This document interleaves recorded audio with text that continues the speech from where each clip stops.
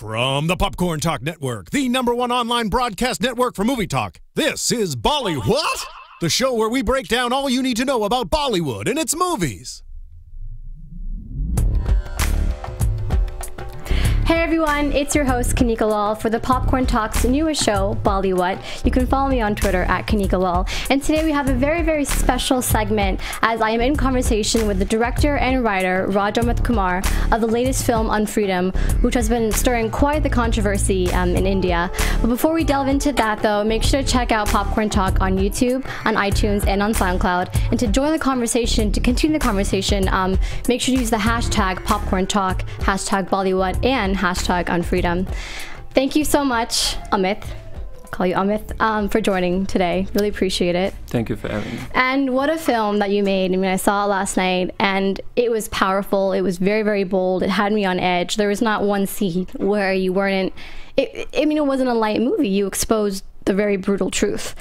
But before we go into that, do you mind just telling the viewers and the listeners a little bit of a brief synopsis of the film so they get the understanding of it? Unfreedom has uh, two stories in it. One takes place in New York, Mm-hmm. where there is a fundamentalist Muslim has come to kidnap uh, and kill a liberal Muslim scholar. Mm-hmm. So what happens between them is the story that takes place in New York.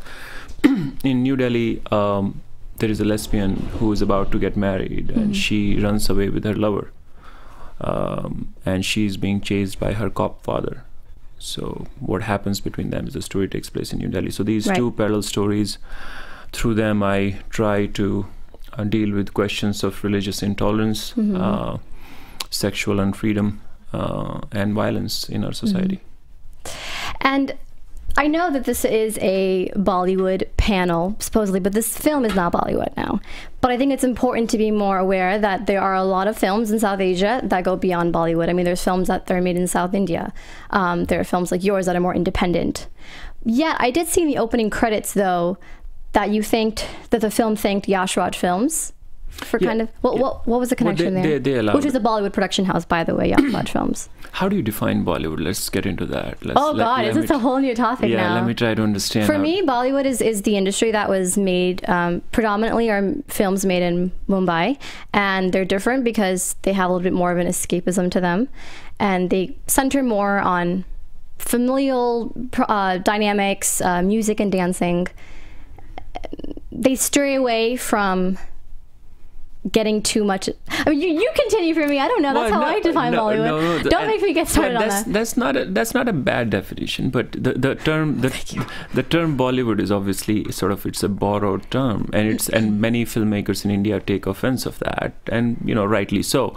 Uh, you know, Indian popular cinema is maybe a better way of putting at it. I mean, you know, I mean, it's, it's, so now because it's Hollywood as sort of the predominant industry in the world so everything starts to get defined by tollywood and nollywood and then bollywood and all that. So anyways um, you're right in terms of it's a certain genre definitely. It's a certain genre which has certain aesthetic principles that most films follow in terms of like you mentioned song and dance and family relationships and boy meets girl and and and uh, it wasn't all like that, though. There were a lot of films that were like your film. but there are that expose social reforms. no, you know, there are. I mean, there, Mm-hmm. still there are. You know, in Indian popular cinema, there are there is all kind of films that come out of uh, come out of the industry.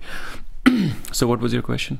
My question was the Yash films. You think that in the beginning, so Yeah. I kind of want to see that similar that Bec- because connection. They, you know, they allowed us to use uh, very generously. They allowed us to use a, a clip in the film that you see. uh, Okay, I know which one you're talking yeah, about. Yeah, So Okay. Dilwale Dulhania Le Jayenge. and now, did you get some sort of reactions though from Bollywood stars? I believe maybe Aamir Khan. Did he say anything about the film because he's an activist himself, or not, not yet. Not yet. I think okay. maybe it's not on his radar yet. Uh, Okay, yeah, interesting, Yeah, interesting. Yeah, but recently. Hopefully soon. Yeah, but recently about uh, I, I don't know what he would have to say about the censorship issue, but recently, you know, there was a, a AIB roast thing that happened in India. I think everybody's aware of it, Mhm. and uh, the popular commentary was that uh, we should not offend people. right. Uh, that came from Aamir Khan. But uh, I mean, there is, uh, in my mind, there is no freedom of speech if we cannot offend people. Mm-hmm. What is what is freedom of speech if Mhm. if if it's not absolute? Mm-hmm. So I don't know what his take on on the film would be, but you know, uh, censorship is wrong. Uh, Yeah. There should not be any censorship. Uh, and I think India uh, is is progressive enough to to tell the moral authorities in India that uh, these are the kind of things that we would not accept. But um, but it, it doesn't seem like that there is a unified uh, voice. Uh, there is a unified fight uh, in the in the country at this point of Mhm. time to to to to tell um, censor censor board and censor authorities to go to hell. You know, Right. not yet. it's just so ironic because I feel that India is progressing in terms of the way the younger generation is kind of ri- rising up. They're accepting the change. I mean, more people are coming out, you know, to their parents. Yet the censor board is just still so backwards thinking. I mean, why can't they see that change is happening and it's the 21st century? Why are they still so resistant on their ways? because that's their job their job is to be resistant their job is to to control. Their job is to keep uh, keep the agenda of public discourse within a certain certain uh, agenda that fits fits with their politics and their moral ideology. So to expect that somehow Indian censor board is going to sort of uh, enlighten itself is is is uh, is something we should not even uh, look at. What we should look at that there is an institution that just should not exist at all. There is an institution that need to be thrown in garbage. That's what we need to say because if if the job of the institution is to control, is to censor, Right. then how are you going to expect them not to do that but anything else? Right, you're They- right. they- their job should only be to certify and, and move on. Their job is to tell the country Right. that this film belongs to, let's say, this category. Right. I mean, they can even say that, okay, this film is really, really bad. I'm giving it a i'm giving it a category that common people should maybe not go watch Mm-hmm. it. But then let people decide if they wanna, if they wanna go see it or Completely. not. But yeah. Well, talking about your film, which is, you know, it's dealing with that issue right now. Why? Why is the censorship not? They're not allowing this film to be shown, precisely, and you know, in, a I- in a nutshell. I mean, I, I think my analysis of this is I mean, uh, it's been talked about that the question is sex and violence, but I, I don't think that's the question. I mean, we see sex and violence in our popular media all the time. Right. And too much of it, uh, excessive. I mean, I, I don't even think my film has that much sex and violence the way we see in our uh, in, in Indian popular films, if you want to say so. forget I mean, in films. some What, Bollywood. what we hear in the media, which is actually happening. Yes, you know. all the time. Uh, I think the problem is when you mix sex and violence with religion and politics, and when we try to hit something uh, that that's that can strike chord with, with with common people in terms of its truth, that's when it just becomes you know something that they cannot digest, and I think that's what the problem uh, is with the film. So. When you were making this film, though, before this even happened, what kind of conversation did you want people? What did you want to stir amongst the people, or maybe change some sort of perception in a big or small way while you were making the film?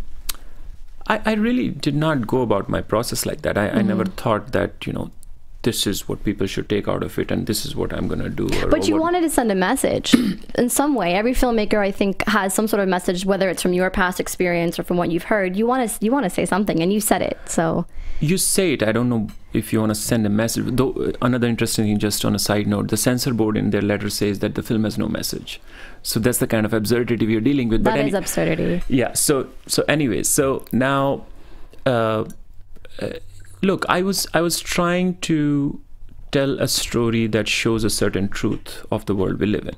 And that's where i wanted to stop. And i mm-hmm. think in my filmmaking with this film i have just stopped there. I did not go any further in terms of thinking that you know this is what audience will take. I, I wanted to create an experience of a certain truth of our society. And i did that and i wanted to leave it at that. And then i just wanted the audience can hopefully question Right. that why why so and why what has been shown to them the way it has been shown to them why so and I, I was just hoping for that question I, I i didn't have any other any other goals in mind What were the reactions so far of this film? I mean, I understand that you show it did have a private screening in Bombay and also Yeah. Kerala. yeah What did the people say to it? it's it's so interesting i have faced more resistance uh, in terms of the what the film is trying to show from the audience in outside of India. So two screenings that happened in India, the IIT students and at IFFK. Right. This the youth of this country, uh, you know, our, our country is completely, completely in love and passionate about what the film is trying to to achieve. And they want to engage with those questions. They want to discuss that. They want to have conversations about it. Maybe they want to deal with it in terms of they want to change uh, things around them. Uh, not so much outside. Uh, you know it was it was uh, look e- even in india i mean i i knew that when i was you know, making this film it's, it's going to divide the audience you know. Oh, I, I knew that that either people will completely fall in love with it or they'll completely completely hate it. Right. and and uh, you know after after people have seen the film that's that has been the story. And you know i i i, I feel good about that. I. Yeah. I i feel that the film impacts the audience in in a way i mean and if if that's that's the only job as a filmmaker Yeah. uh, i guess we have is is to create an experience that sort of really really impacts people Mm-hmm. so um yeah i think some some people are hating it and some people are just loving it Well, that stirs a debate. And that just stirs more awareness for the film. So it's you're again you're exposing the brutal truth of what has happened and what is still happening that not everyone is aware of. In terms of the actual film, getting the cast together, how was that like? Did you always um, envision the you know Victor Banerjee and Preeti Gupta, all those cast members, to be working in the film, or did you approach different actors before? No, I no. Uh, Victor, that was not first choice, and I, I'm I'm glad that I failed. Yeah, and everything happens to- for a reason, right? I, I got him to do the film. Uh, um, most actors, you know, they, they, were, they were not like the f- the first people that I, I you know went went out to meet. I mean, look, even in terms of actors, like the, the first slightly popular actor. I mean, Victor Da is popular enough, but Mm-hmm. I, I approached an actor who was who had much more uh, sort of what should I say um selling power to the studios. If if I was you know making Are you this not film. allowed to say who it was? No, I, I don't want to because Yeah. I'm going to tell you what, what he what he said. So, um, you know, I, I took the script to him. He, he really loved it. He Yeah. wanted to work on the film, Mm-hmm. and then and then he said that you know the the film is quite sexual and violent, and why do you have to do it this way? Right. Why can't you do it that way? So I, I like a good student of cinema. Spend like half an hour also trying to. Uh, talk to him about Stan Brakhage and, and experimental cinema and let's open our eyes to cinema in a different way and all that but I didn't succeed Interesting. and and and you know he didn't he didn't want to do it any other way so and when Victor Da read the script he just made a phone call so I'm I'm on it. When do you, when do you want to do it? So um uh, completely different reactions right? Same like your audience and same like different kind of filmmakers and all that. So so no it was it it was it was an interesting experience uh, casting Mm-hmm. uh, the, the film. You know victor the Adil Hussain Mm-hmm. did an amazing job great professional actors um, Yeah, all of them. yeah all of them They really did a good bhanu job. was you know it was it was a great find you know Mm-hmm. and and especially uh, the actresses you know it was it was so tough to look when you go to bombay and you you you tell you know actresses that you know this is this is what the film is and it has nudity and all that and you'll find a lot of actresses who are ready to go naked on on camera you'll also find uh, um, but they don't know how to act right? You'll also find lots of good actresses who just don't want to go that direction because you know uh, uh, indian films work a certain way and, Right. and it, it means something for their career. Mm-hmm. it, it needs a special courage.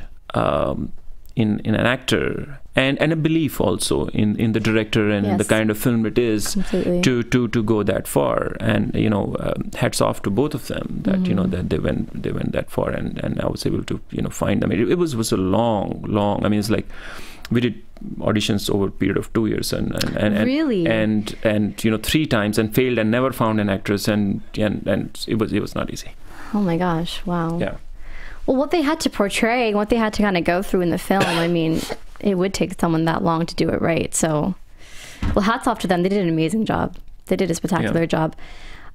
Did any of the cast members or anyone just outside, maybe in your family, maybe amongst your friends, were they like, Amit, this isn't going to be shown in India. What are you doing? You know?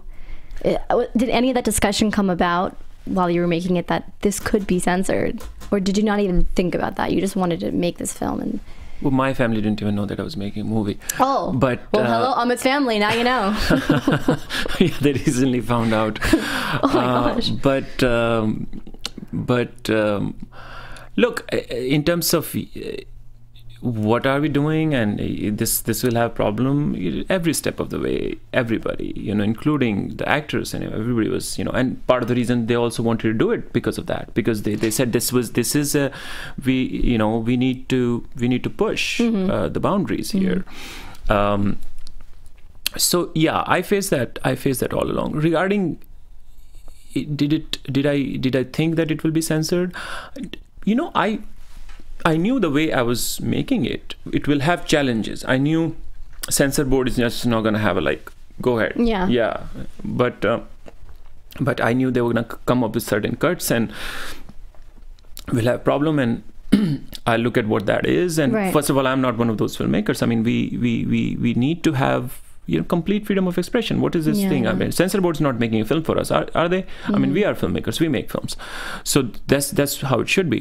Uh, but you know, I really really never thought that they that we really have gone that regressive and that that backwards that Yeah, we they, they will outrightly ban the film Right. and not because of not because of nudity not because of the sexual expression but because of the ideas that are expressed in the film so you know Yeah. it's it's one thing it's one thing when you know it's just it's just about nudity and and you you fight with that in a different way and you you but it's it's completely another thing when Yeah. there's there's just these important ideas questions the reality of india that needs to be expressed and you you you, you just want to ban it it's just mm-hmm. wrong I mean, also the latest um, documentary that BBC made, India's Daughter, yeah that was also banned because. Yeah, I mean it's a, it's a phenomenon. That's what I'm saying. It's just not a problem with Unfreedom the movie. It's it's Unfreedom the movement. It's- it, it, yeah, it is the it- movement, you're right. Yes, it is. It is. We are facing more more and more filmmakers are facing it. More and more writers are facing it, and it's just just also not in India. I mean, we see this phenomenon around the world. We, this is this is a streak of fundamentalist uh, world that we Mm-hmm. are becoming.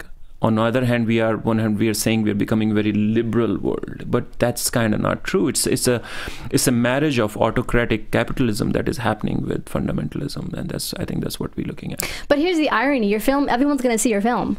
With the advancement of technology and internet, I it's- hope so. Everyone's eyes are going to be on oh, that that's film why I'm anyway. here to promote. I mean, right? you're here to promote, and you are you're getting everyone to sign a petition to bring to Modi, the Prime Minister of India, correct? Right. And you're trying to crowdfund money so that uh, certain people can see it in India, and it's going to be released on digitally. Well, let's so let's speak about that. You, you need to tell your audience. So yeah, sorry, I'm giving you all the options. Now we're going to go break yeah, them down. we need so- to go. Uh, uh, your audience need to go on freedommovie.com. Yes. They'll find on homepage there is a petition where they can click. It will Mm-hmm. take them to the petition. They can sign the petition. So we want as many signatures for that petition as possible. And this is just not for India. Everybody around the world who believes in freedom of expression Mm-hmm. should sign this petition. So that's one thing. Um, uh, the, the second is yes, you can go on the website and you can contribute towards taking the film in India because now as they have banned it, we cannot have a public screening where we we charge for the film. We cannot do that, but we can do private screenings, private invite-only screenings Right. Where we do not charge for admission, mm-hmm. and so that can only happen with help and support of everybody. So we're starting that in Bombay, and we're gonna keep going and going to different different cities as much support we get. Okay. And and you know we already had, a, I mean the the. the Do you have two- the exact figures? Of, two two screenings that we did Uh-huh. uh, was uh, I mean it was amazing response. So so I, I, I definitely think people want to watch it. Uh, so, Completely. yeah yeah. Good, good. Okay, Yeah. well, we have to keep urging the audience to do that. Um, you said freedom.com, right? Unfreedom. Unfreedommovie.com. unfreedommovie.com where you can sign the petition. Yes. Um, great. And also, I just kind of want to talk about the process of you um, trying to get it passed by the censorship board. You tried to approach three committees, and I believe one said it could be shown unless you have a lot of cuts to your movie. Right. And the other two just completely said no. Right. No, so so so people need to understand the process of censorship in India. So there is a censor board. Uh, I need to understand too. So Yeah. So there's there's a first committee in the censor board that sees the film. Mm-hmm. so th- their recommendation was we cannot certify this film. Right. Then you are allowed to go to a revising committee. Right. So a revising committee saw the film, and then they gave me a list of cuts, a very absurd cuts. I I, I don't want to announce those cuts right now because people still have to see the film. Oh yeah. But they were they were as absurd cuts that I would not be left with any expression in terms of what I'm what right. I'm making. Right. Um, so I I did not accept those, and then I there is a there is a tribunal that you go to after uh, after that. It's called FCAT, which which falls under the Ministry of Information and Broadcasting in India. Mm-hmm. Now, when they saw the film, uh, and because that is a government body, and because we understand the kind of government we're dealing with at this point of time in terms of its uh, fundamentalists and, Right. and certain you know moral ethics and whatnot, uh, they overruled the revising committee decision and said we will uphold the examining committee decision that this film cannot be certified. Because if this film is certified hindus and muslims will kill each other. It will ignite unnatural passions. This film this film has no message and whatnot. So so they refused um certification. And so now we're going to high court. Right. uh, and if we don't get a good decision uh, from high court we go to supreme court Okay. and then don't know what but but we need to we need to keep this fight on uh, Mhm. because also through your audience i want to i want to tell everybody Yeah. that we need to understand that in actuality the the way censor board is operating it's Mm-hmm. operating unconstitutionally it's operating in ways illegally Right. uh, the the act, the way it defines that you cannot curtail the freedom of speech, the, they are operating against it. They are they are using guidelines uh, which which goes against the freedom of speech, the way it is written in our own constitution. Right. So uh, so everybody needs to be aware aware of it and and sort of um, speak against it. Do you have how are you how are you going continuing with this? What, what are you telling yourself each day when you wake up? I mean do you have hope? Do you have positivity? Do you think that things will change? I mean because this is going beyond your film. Like you said this is a bigger issue. It's a bigger issue of freedom of speech and your rights in india as an individual. Yeah. I guess I guess you be- better just live in here and now, and and you in that here and now you you see what is in front of you and you see what is the right thing to do and you you see what is the important fight to fight and you just go with it.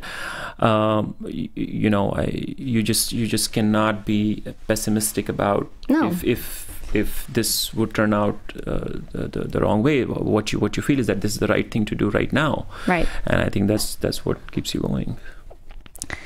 Completely. I actually kind of wanted to just go back to the film a little bit about the symbolism because that's the one thing I wanted to talk to you about because that was just really interesting. I mean, I don't want to give it all away, but there were just certain.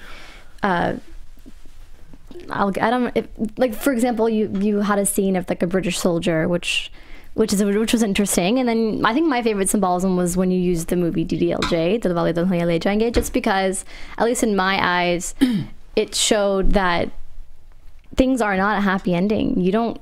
There's not a Bollywood happy ending to all these films, just the way Bollywood makes it. Right. And, and but but this girl, the character uh, Leela, Yeah. she had hope. She had optimism that maybe maybe she didn't have hope. Right. But the fact that she watched that movie and she had Shah Rukh Khan as her background, what was a bigger meaning behind that?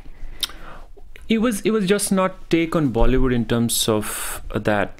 It was just not question of hope and and you know how how every popular film will Has a happy ending, yeah, has yeah. a happy ending, but it it was also about sort of the comparison of heterosexuality and homosexuality. Mm-hmm. So it's, it's always a het, you know a father you know giving away uh, his Yeah. daughter uh, uh, in in a heterosexual marriage is sort of is that's also the kind of Indian popular cinema creates that kind of a norm, uh, Mhm. normative, and what becomes natural is always naturalized Right. uh, in society. So th- there was definitely a statement on that over there, and then also relationship in, in the same way. You know, there was a, the certain relationship with patriarchy that was being set. Uh, I mean, you- the- relationship with DDLJ and how it is in the film. You know, it's the same way, same way like Simran in DDLJ is the expectations of Leela with her father and Yeah. belief in the father and you know she's she's a god-fearing god-loving girl you know and and, and uh, so all those sort of relationships were there but but she happened to be a, I didn't say happen to be a lesbian, but she's a lesbian. She is a lesbian. Yeah, she's a lesbian, and it makes it even harder Yeah, for the father to yeah, accept in, during yeah, that time in Indi- in right, India. but but you mentioned the patriarchal aspect, and I actually questioned myself during the movie. I go, where is Leela's mother? Why does she have no say in any of this decision making? It's because she she, she can't have a say. Is that correct? Did you want to do mostly the father influence because you used it also in the other story with um, the Muslim scholar. That was also like uh, Hussein's past. He was the reason he acted the way he acted was because of his father. So was there like a meaning behind using the father as a symbol of powerful against powerless or Right. Uh, No, I mean there is there is definitely a study of uh, patriarchy, fathers um, in the film. You know, Yeah. in both sides of the story. Right. Right. And like you mentioned about uh, Leela's mother, um, um, you know, patriarchy operates uh, with with. Uh, women's will in a certain way. You know patriarchy is not something that's just enforced only through men you know? Uh, it's enforced only uh, with women's consent as well you know as much as. So um, so that's definitely a, a statement there. Uh, and yes you know the the father son relationship and and father son or father daughter relationship so that that relationship between generations is is is definitely crucial Right. uh, uh, to the structure of narrative on both sides of the story and and also sort of the continuation of the cycle with that is is was was was crucial. Right right yeah right. yeah. Interesting. Um no kind of what I literally just like lost track of what I was gonna say actually I can go back keep talking about father if that's the case no the inspiration behind the film it was it was based on a poem as Yeah. well yes, right yes But I'm sure it was also based on your uh, witness and your experience too, just growing up in. Right. The, the kind of poems also read is something that speaks to us, isn't it? Well, Faiz Ahmad Faiz is a, is is a, is an amazing, uh, famous uh, uh, writer and poet, Right. and and very political um, poet. You know, um, and so his his poem "Ye Daag Daag Ujala Ye Shab Gazida Seher" was definitely an inspiration, and he was writing that poem at the eve of Indian independence, when we are on one hand we are getting free, other hand Hindus and Muslims are killing each other Right. so and the transliteration of the poem is also dawn, dawn of unfreedom Okay. um, now yes growing up i have seen religious violence in india very brutal firsthand. I you know i've had um, homosexual friends in india who have faced brutal violence uh, rape uh, and uh, so you know obviously I've, I've taken things from my, my, my personal experience and, and what I have seen in life and and uh, where and what my understanding of the world is and what my understanding of life is yes. What's next? What's next now for, for the film and, and, and for you as well? the next is May 29th everybody should see the film and as many people should see the film and love the film and and make sure that we can take this film you know everywhere in India we, sh- we, we should take this film around the world so that's next i mean the, the mission stays with the film still the end mission stays with fight against censorship so that's that is uh, still very very very important But you're also coming out with a couple of new films. Are are you in the process of making? Or? yes no i'm no i'm in the process of sort of finishing my my, my script and uh, black boots is a story which is of first black marines who went to world war ii Oh wow. um, they went to segregated boot camps their stories was never told you've heard of tuskegee airmen buffalo soldiers but It never was told. Never, never. 2012, they received a congressional gold medal. Uh, so the first time, sort of, the the the, the story, you know, became uh, more known uh, to people in America. So it's it's a story of courage, racism, and unfreedom. Hmm. Um, and so that's one. And the second one um, I'm finishing is Ayodhya. So if that means anything, I don't know. uh, Do you know what Ayodhya would mean for you? I mean, it's just like 1992. How old are you? 23, turning 24 soon. I, should, I shouldn't ask that. Whatever. Yeah. I- I'm legal, so it's okay in, in many different ways. so So 90, What is- 92, you you must be like a little kid. Um, yeah. a 92 uh, Babri Mosque uh, was demolished in uh, Ayodhya. Ayodhya is the city. Uh, and this was the wave of Hindu fundamentalism in India that really caught fire for the very first time. Before hmm. that, India was more and more of a secular country, which, I mean, in, in, in, in minds of common people, but still are very secular people. But that's when the polity shifted in, in, in the country, and, and sort of we, we, we got into this wave of Hindu fundamentalism in India. So, Ayodhya is, is going to be a Shakespearean drama. Oh, wow. Set in the contemporary politics of 1992 Ayodhya.